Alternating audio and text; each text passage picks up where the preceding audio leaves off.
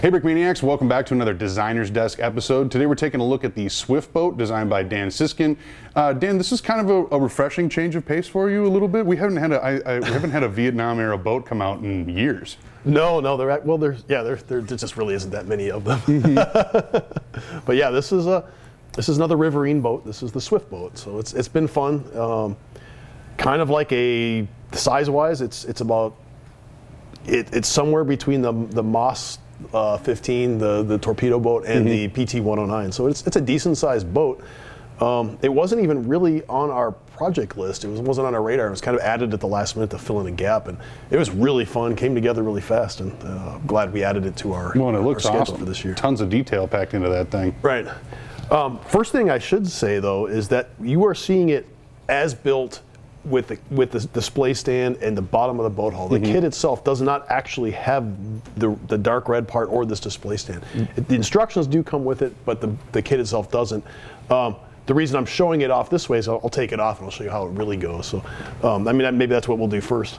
Sure. So the bricks that are included in the kit that you purchase are is the waterline model, but then yep. the instructions should you want to build the stand right. the lower hull. The the dark red bricks are, are, are kind of costly, so I figured it would be something that instead of making penalizing the, the, the customer, everyone, if, if you really want it, you can you can buy your own bricks. There's a parts list in the book. Sure. Um, and of course, the, the, everything you need to know how to how to make it is all in there. So let's cool. get this off so I can set it down flat like the way it's supposed to be.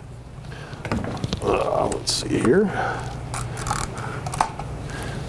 Builder's secrets revealed. I should also mention that uh, I didn't particularly, while the shape of these pieces that I have here are the exact shape of what's in the instruction book, because it does the pieces aren't included. You can use any red tiles. You don't have to necessarily sure. follow the the instruction book. So, um, so there it is. This is the kit as as it would be built. This is a waterline model. So mm-hmm. basically, if you were cruising up the river, uh, you know, at, at, at, a, at a slow speed, this is about how it'd be sitting in the water. At a high speed, you'd be, you'd be yeah, you'd have the front yeah. up out. Um, and you know, if you wanted to build a diorama or something like that, have it sticking out, you can build part of the bottom. It would do the same cool. thing. So you, you, do have options. So this is the kit out of the box. Um, and, and I, I, did notice that the first batch uh, is actually bursting out of the box. so I underestimated how big the kit would be. Sure. And I decided, hey, we're going to use this box, and it's our traditional large kit box, and they are like actually bursting at the seams. It is so many pieces. So if you're one of the lucky few who got in on the first batch, you will have one of those boxes. Mm-hmm. Uh, batch two, batch if there is a batch two or batch three, uh, we'll get a bigger box. So um, I apologize about, for the. One the of the best things about getting a Brickmania kit is when you try to shake it, you know, under the Christmas tree. There's Sometimes nothing. there's no give to it. You don't even know you're getting Legos. it is a solid block of Lego of Lego bricks. So. Um, I guess I could go over just some of the basics of the, the Swift boat. Uh, it's actually Patrol uh, Craft Fast, PCF. So Swift boat is just more of a informal name. Um, it's technically it's Patrol Craft Fast. There's about 104 of these built of this particular model. This is the PCF1 series. Um, they were specifically designed for uh, counterinsurgency operations um, in the 19 early 1960s when the United States knew it was going to get involved in the Vietnam War. Mm-hmm. Um, a call went out, hey, we need to build this boat. We need to build a new a, a patrol craft, and they actually took a commercial water taxi that was used in the Gulf of Mexico and in the, the like so the Louisiana Bayou areas or the in the oil fields to deliver troops, not troops, uh, workers to oil rigs and, and, and, different job sites. And they took took that and militarized it, added the gun tubs, mm-hmm. added weapons lockers, the radar, and all the stuff uh, that were military grade. So this is a you know, this this would be a familiar sight if you were down in like Louisiana or the Gulf of Mexico. You sure. see something similar to this, probably not the same color. Um, so the Navy built these specifically for Vietnam based on that boat.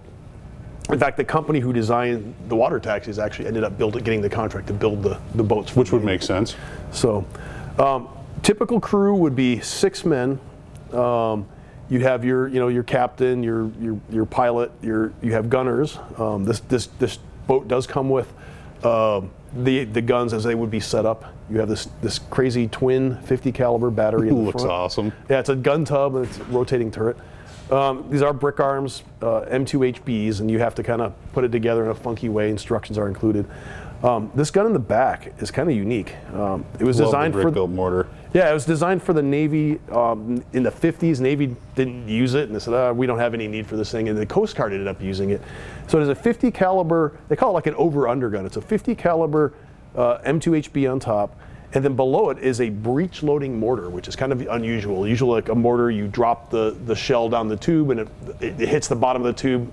Firing pin hits the the firing whatever the the, the whatever it takes to launch in, in the little rocket. Mm-hmm. And this is different. This is a, a breech loading mortar where you actually load the you can load the, the, the mortar from the rear and you have a lanyard and you pull it. So the gunner actually has control of when it's going to be be fired. So you aim separately and then fire.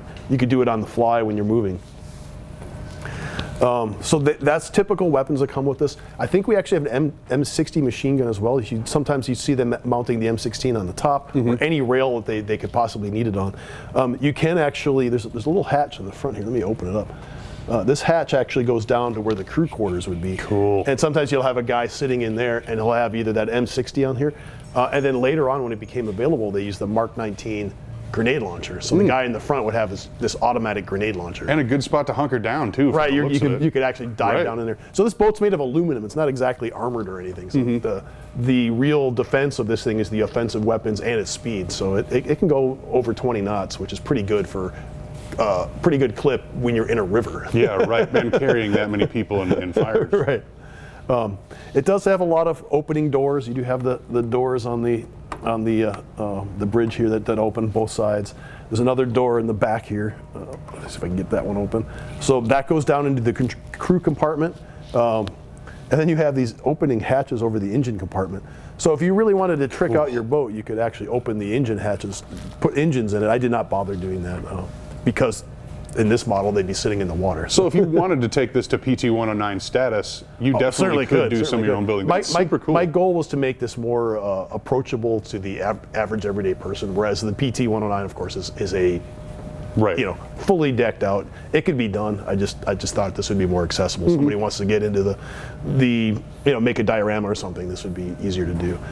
Um, so it does actually have a, a fairly detailed interior, and it's easy to get access. You can take the roof off to the to the to the bridge, and then the roof off to the the roof to the rest of the cabin comes off fairly easy as well.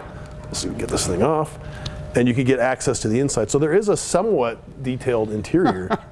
um, you do have the, the, the the bridge here, and you have the control seat, their control area. Um, this is like the main uh, cabin, I guess. Uh, so there's two bunks. One there's actually a folding bunk. You have a rack. Let me see. I can show you from this angle. The bunk. You have some printed elements on there. The bed rolls. Um, it does fold up. That's the way the real thing works. Um, you do have some navy beans, um, which we haven't done for a while. Uh, that's kind of like out of our playbook from the PT 109. Continuation of the joke. Of course, there's a, what's a what's a boat without a rat, right? Yeah. Um, down this through this little hatch here would be the actual uh, sleeping quarters. There's a little the sleeping quarters. Then there's a head. The, there's a toilet right in the middle of the room. It's it's um, not much privacy, but I guess when you're in the Navy, you don't expect much privacy. Sure. So there's quite a few printed elements. You get the printed the the life ring here, two of them, one on each side. So lots of other details. The the the 94 on the on the actual. Uh, um, this would be the ammo locker for the for the mortar and the. And Well, the, and with how easily those roof connections come off, I mean that's that's super playable when it's all open like that. I mean that's literally a little PCF. Right, right. It's, right it's like a dollhouse Yeah. for your for your Vietnam figures. This does come with si- the six, full six man crew. I just put the three figures on here. Um, Landon will talk about that, and it does come with a bonus uh, Vietnam era seal. Exclusive to this U.S. kit, Navy too, seal. yeah. It's exclusive. We, we've done. It's not the only seal we've done, but it's it's definitely it's a, it's a variant that only comes with this boat. So. Mm-hmm. so Very very cool. Any other play features you want to cover in this this epic model? Uh, well, that's pretty much it. I mean, you could obviously you could build, put it on a stand. You're gonna have to buy all the pieces for that separately.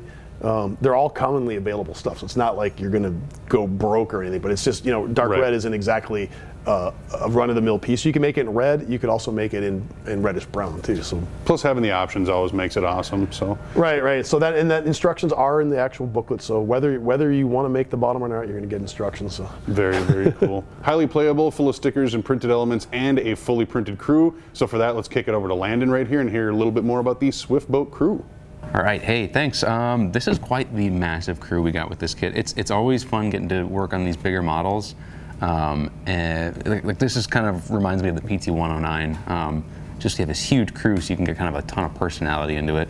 Um, I guess starting on the left, I've, some of this artwork, um, we've done a lot, done some previous Vietnam minifigures, so obviously there's going to be some similar gear from the era. Um, we got starting on uh, this side, we have um, it's a, it's a brand new artwork for that uh, flak jacket. It's actually kind of an opened up design, um, but similar to the previous uh, flak jacket I have. I, I kind of like this one because it's got some nice side printing on there to kind of to simulate that sort of lace up uh, size adjustable flak jacket.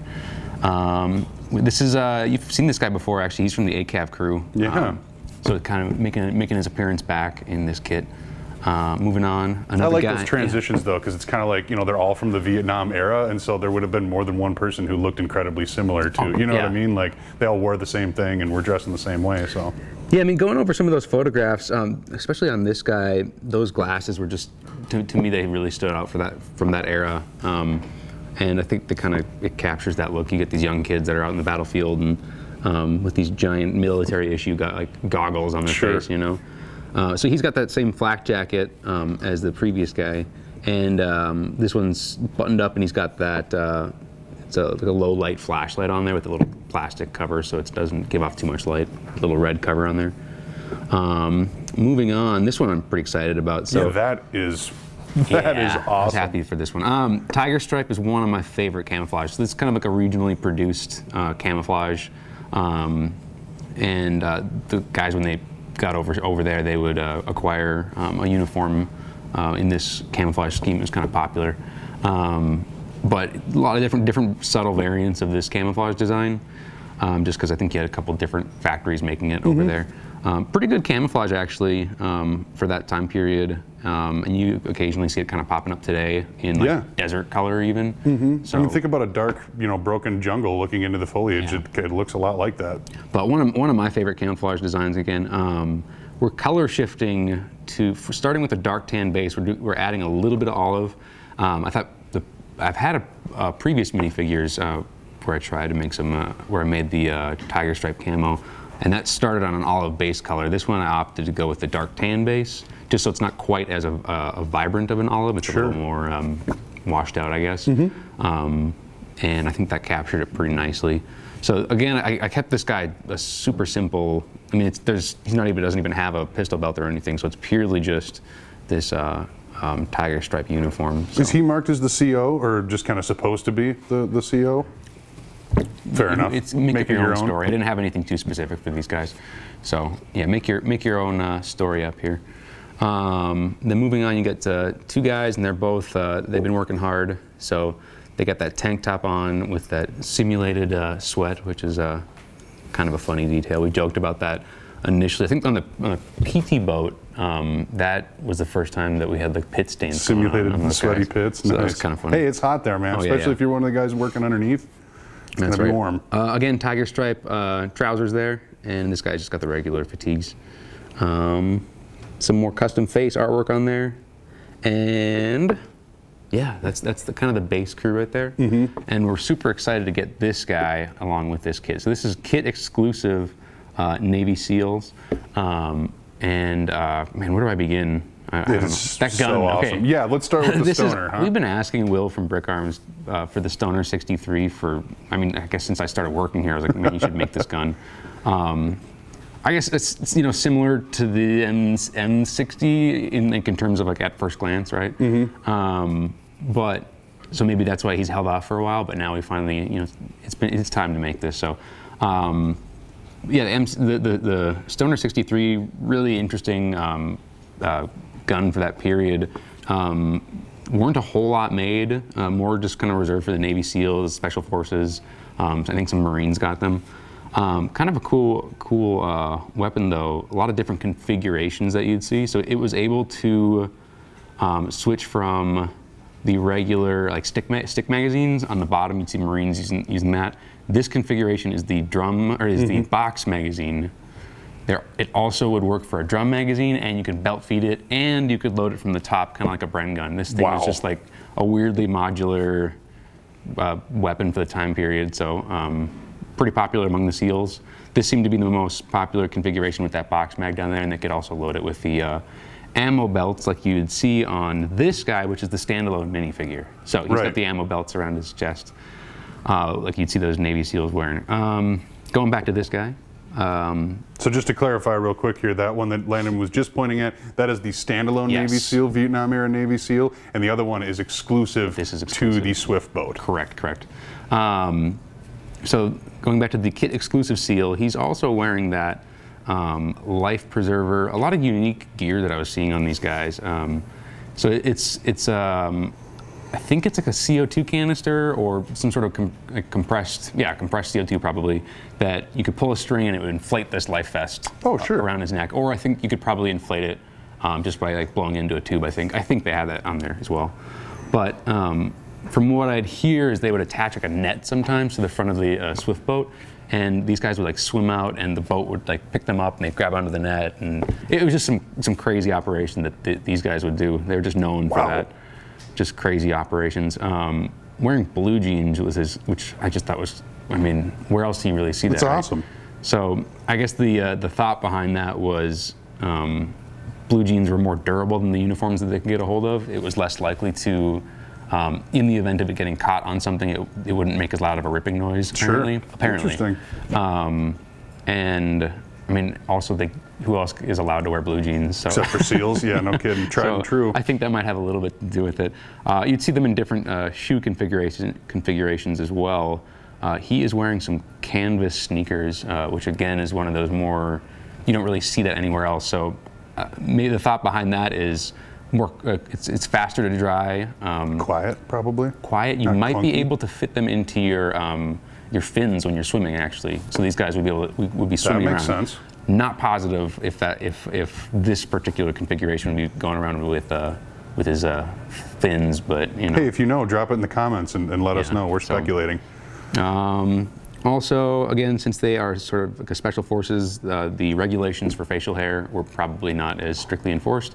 So we have this this big old what a handlebar Fu Manchu thing or whatever it's called, um, and uh, yeah, big old handlebar mustache, and uh, some face camouflage going on there. So he's just just prior to battle. Um, other than that, some uh, ammo pouches and around the back. Um, let's see what's on the back. On the back, you have a combat knife and oh, I almost forgot. On his leg is the Hush Puppy. So it's a MK22, I think it is, uh, pistol. So specific for the Navy SEALs. Uh, it had this huge canister on the end with like a like a plastic seal on the end to keep it the water out. But it was a silencer. quiet, yep. So a silence pistol uh, that was exclusive to the Navy SEALs, from what I could tell. Um, just a huge holster for that thing too. It's like this giant pistol.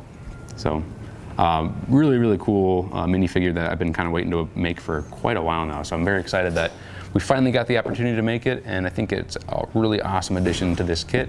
Um, yeah, kick it back over to you.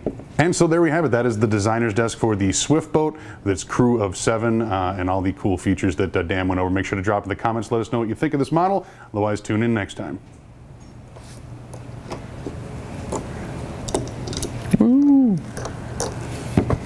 They're on the boat now. That's perfect.